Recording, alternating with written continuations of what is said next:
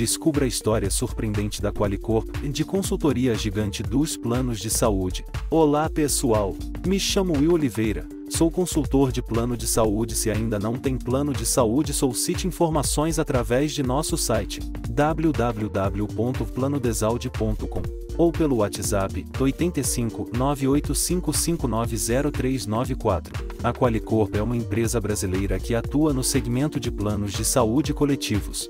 Fundada em 1997, a empresa surgiu como uma consultoria em benefícios de saúde para empresas. Com o tempo, a Qualicorp ampliou sua atuação, tornando-se uma administradora de benefícios e comercializadora de planos de saúde coletivos por adesão. A ideia de fundar a Qualicorp surgiu quando o fundador da empresa, José Seripieri Júnior, ainda trabalhava em uma empresa de seguros e percebeu a necessidade de oferecer serviços de consultoria em saúde para empresas. Em 1997, ele fundou a Qualicorp e começou a oferecer serviços de consultoria em benefícios de saúde para empresas.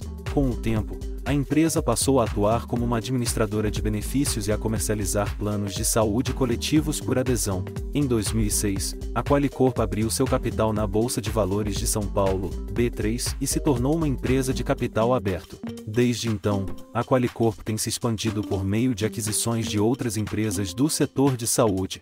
Em 2014, a empresa adquiriu a Gama Saúde, uma administradora de planos de saúde coletivos por adesão. Em 2017, a Qualicorp adquiriu a Plena Saúde, outra administradora de planos de saúde coletivos por adesão.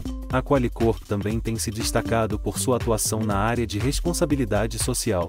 A empresa mantém um programa de voluntariado corporativo, que incentiva seus colaboradores a participarem de atividades sociais em suas comunidades. Atualmente, a Qualicorp é uma das maiores administradoras de benefícios do Brasil, com mais de 2 milhões de beneficiários em todo o país. A empresa tem sede em São Paulo e conta com escritórios em outras cidades brasileiras.